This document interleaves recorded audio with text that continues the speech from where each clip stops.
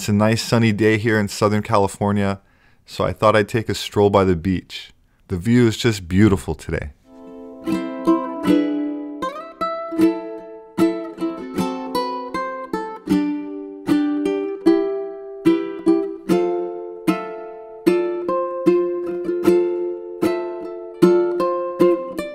Of course, it's usually beautiful, something I never get tired of, so I'm glad I can share it with you.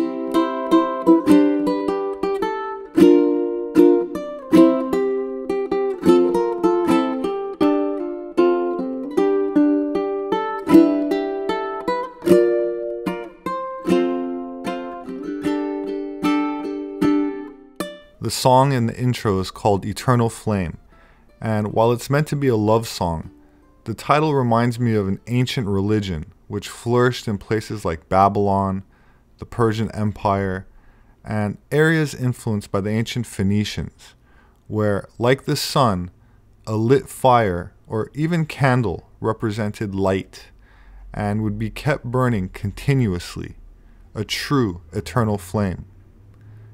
Starting around the time of the 12th century in Europe, around the Adriatic Sea, which is a body of water separating the Italian peninsula from the Balkans, arose a powerful influence called the Venetians, after the city of Venice, who they themselves traced their lineage back to the city of Tyre on the coast of the eastern Mediterranean, which was the capital city of the Phoenician Empire.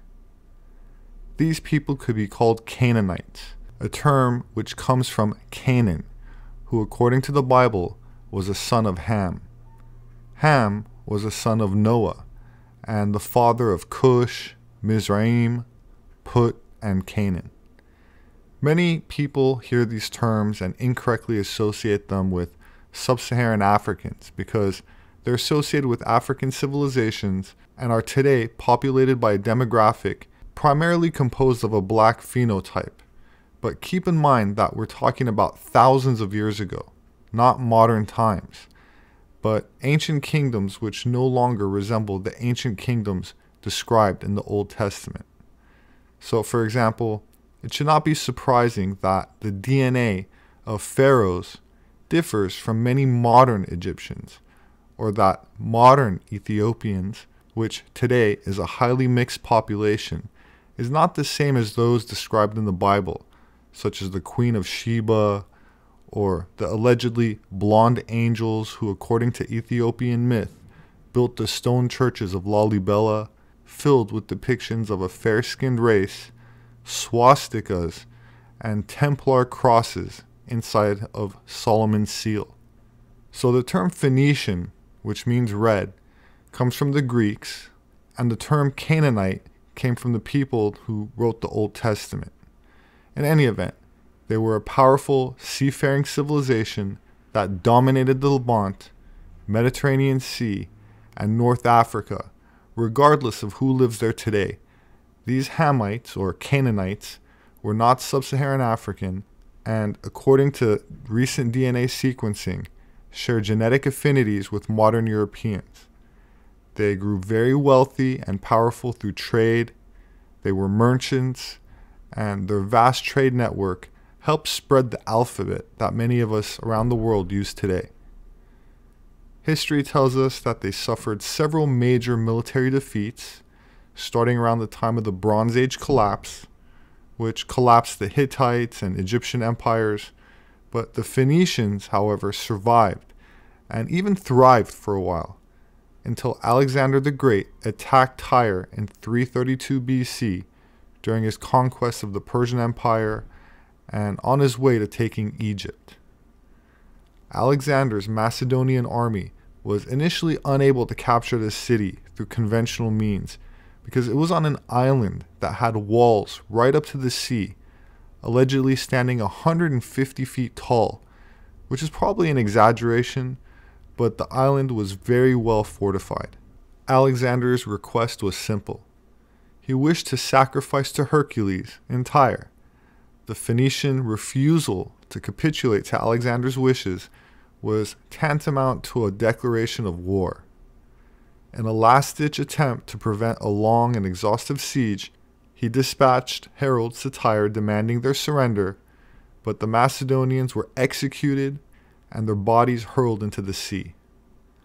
The details of what happened over the next several months were very dramatic and quite exciting, but would make this video too long. But in a summary, Alexander's forces were eventually able to breach the walls, slaughtered most of the Phoenician forces, including crucifying thousands, and then he held a procession through the streets of the city, where Alexander then made his sacrifice to Hercules.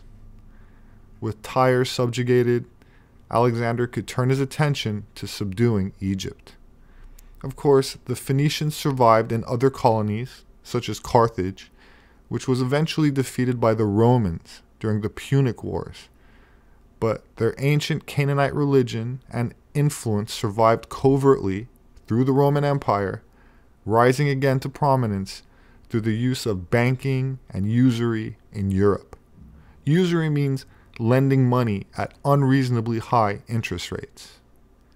From about 800 AD on, Venice was an increasing power in the Mediterranean.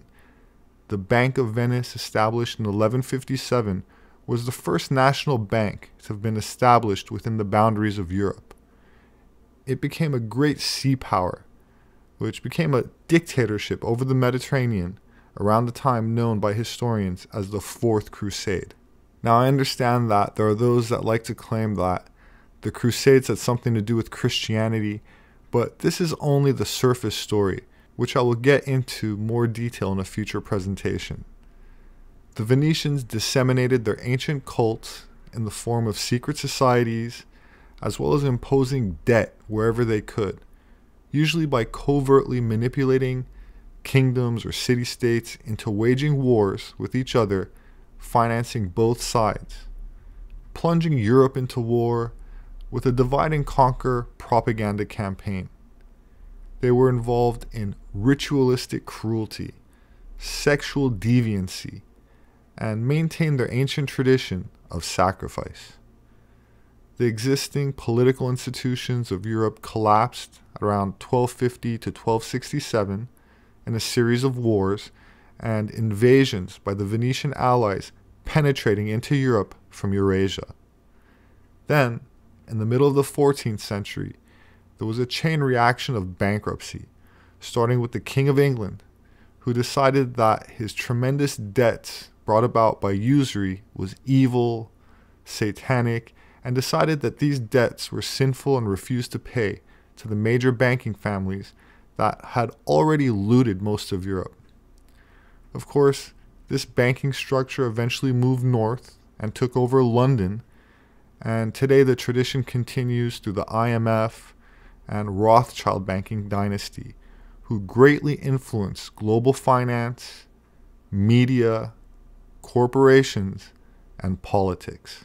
In 1000, the Byzantine Empire uh, underwent a fundamental crisis that was the period when Venice started to take over more and more of Europe. And eventually, the power center shifted to the financial oligarchy in Venice.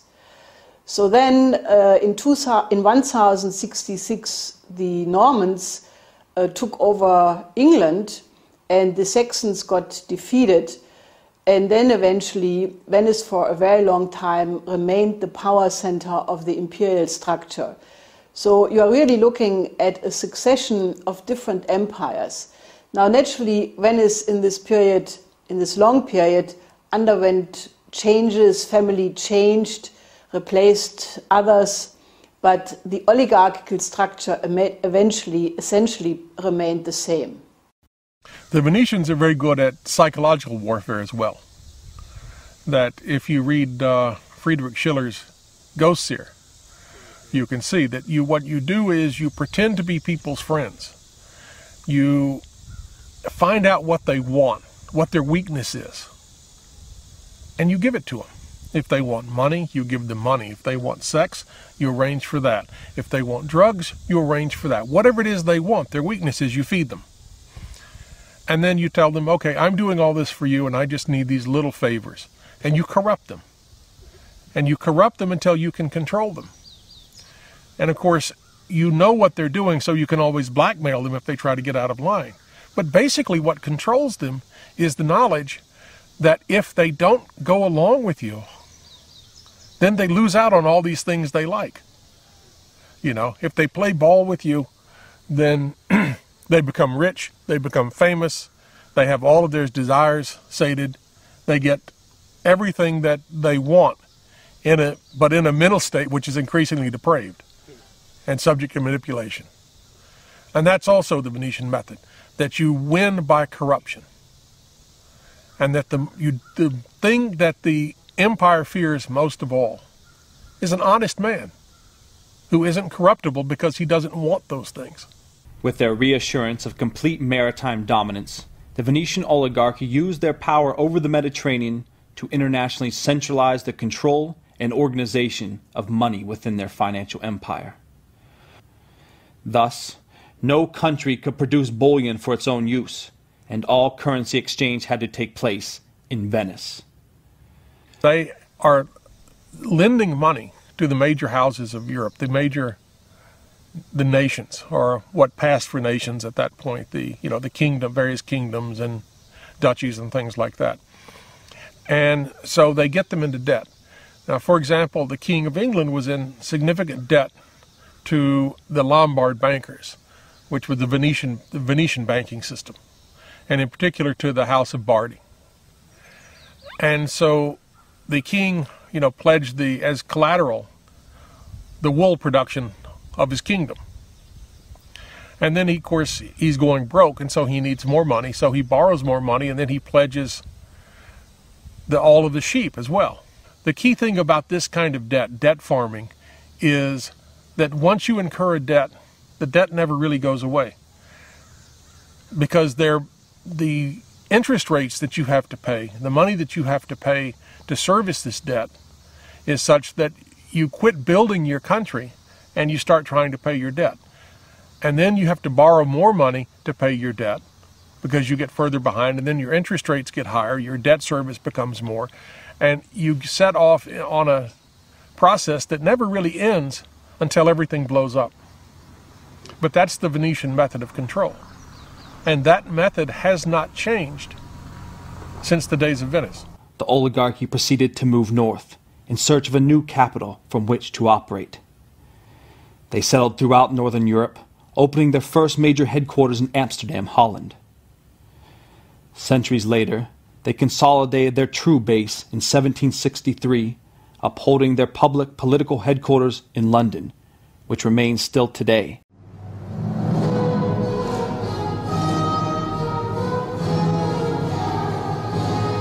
The Baroque is a highly ornate and often extravagant style of architecture, music, painting, sculpture, and other arts that flourished in Europe from the early 17th until the mid 18th century.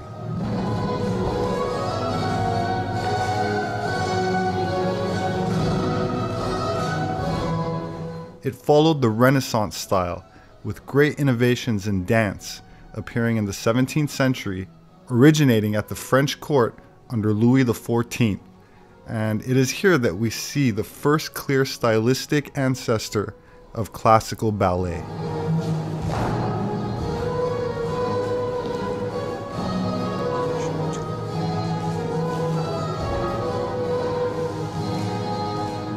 Louis XIV was a major influence in the development and promotion of Baroque dance. Even at the age of 14, Louis was an accomplished dancer as the sun god Apollo, an image that he was to cultivate throughout his life.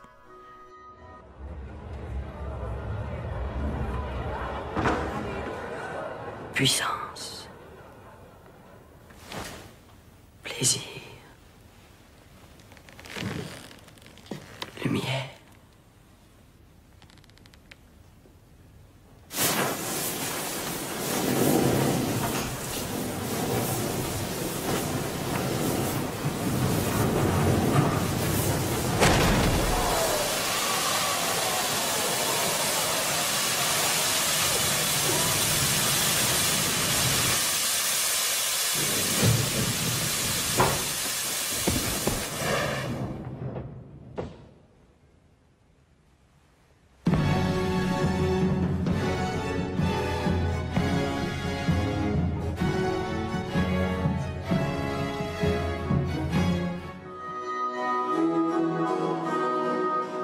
During the 17th century, dancing had not only a great social importance, but could also carry political importance.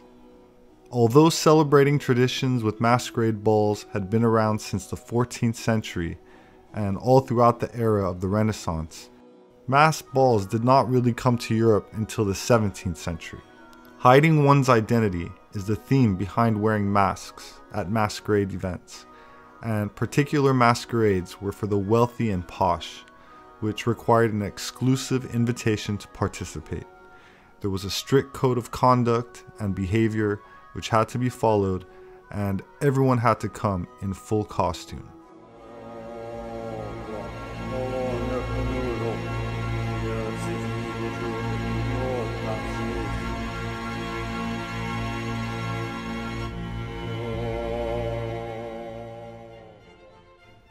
Baroque means irregular in French and is said to originate from the Portuguese word barroco, meaning imperfect pearl, like the irregular shaped pearl that was used in the jewelry of the time.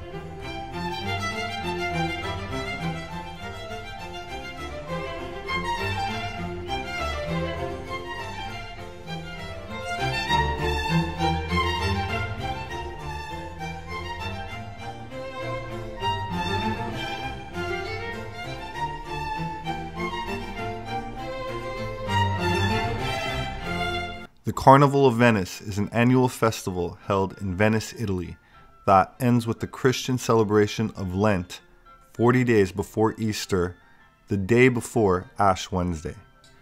The festival is world famous for its elaborate masks and currently seems to be growing in popularity since around the 80s or 90s. However, under the rule of the Holy Roman Emperor and later Emperor of Austria, Francis II, the festival was outlawed entirely in 1797 and the use of the masks became strictly forbidden. It reappeared gradually in the 19th century, but only for short periods and usually for private feasts with rumored ritualistic activities.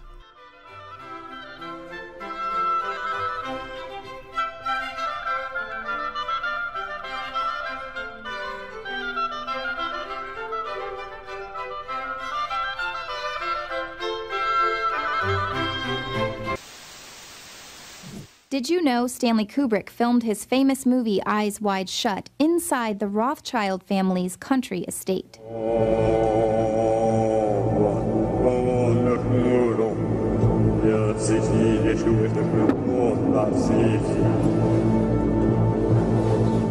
Theories swirled that Kubrick made his movie about the real life ultra elite and their secret occultic gatherings.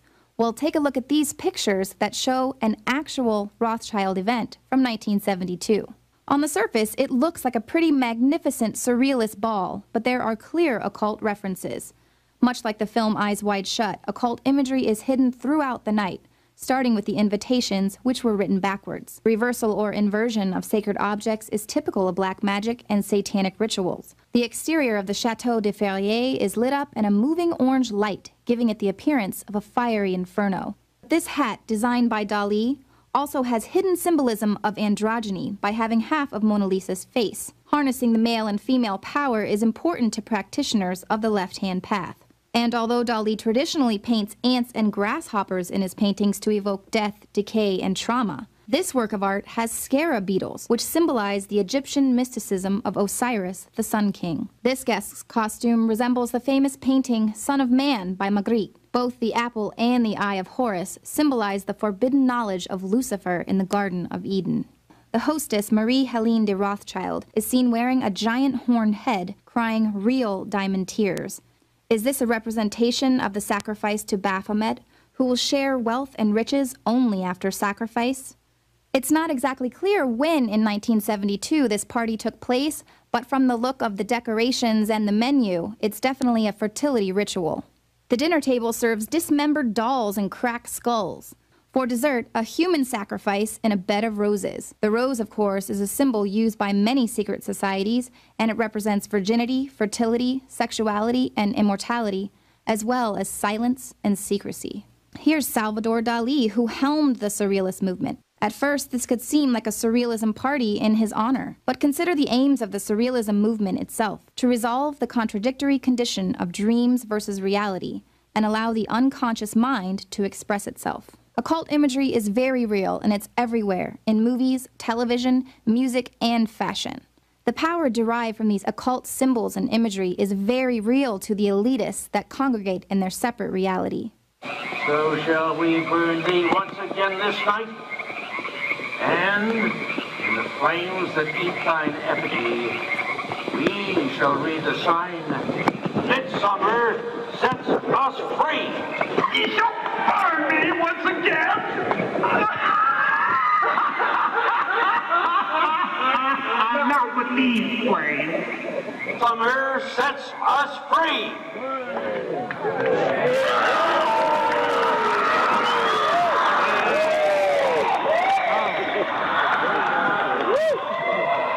And that is just the tip of the iceberg. The elites are riddled with perverse secret societies that are obsessed with harnessing the power of dark forces.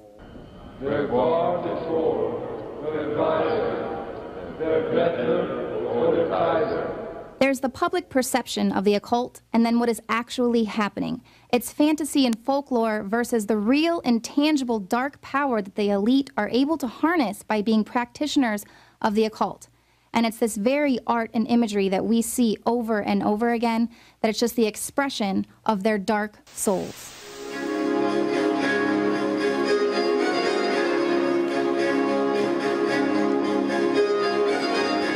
My name is Robert Sepehr. Thank you for watching, sharing, subscribing, and don't forget to leave a comment.